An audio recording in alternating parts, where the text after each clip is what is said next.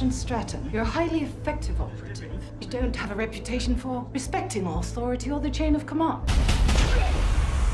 Yes, ma'am. They've landed.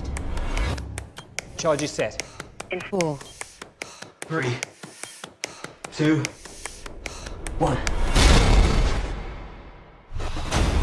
Whoever they are knew we were coming. Keep your head up!